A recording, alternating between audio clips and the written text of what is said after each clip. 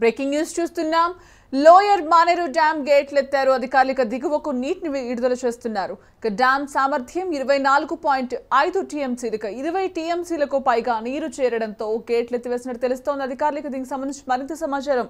మా ప్రతినిధి చంద్రశేఖర్ తెలుసుకుందాం. చంద్రశేఖర్ చెప్పండి. గత వారం రోజుల నుంచి కూడా విస్తారంగా కురుస్తున్నటువంటి వర్షాలతో వాగులు వంకలు పొంగి పొర్లాయి అలాగే ఎస్ఆర్ఎస్పి నుంచి కూడా వరద నీరు వస్తున్నది. దీంతో మిడ్ మానర్ ప్రాజెక్టు కూడా ఇప్పటికే ఇరవై టీఎంసీకి చేరుతుంది. దక్క నుంచి వచ్చినటువంటి నీరు ఏదైతే ఉందో లోయర్ మానేర్ డ్యామ్ కరీంనగర్ సమీపంలో ఉన్నటువంటి లోయర్ మానేర్ డ్యామ్ కెపాసిటీ కూడా పెరిగింది.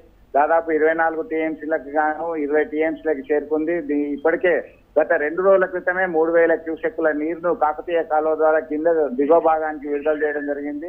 అయితే తాజాగా మరింత పెరిగినటువంటి వరద ఉధృతి మరింత పెరిగినటువంటి నేపథ్యంలో ఉదయమే జిల్లా collector V Karnan and engineering అధికారులు ఇతరులందరూ కూడా కలిసి ప్రత్యేక పూజలు నిర్వహించి నాలుగు గేట్లు వదలడం జరిగింది.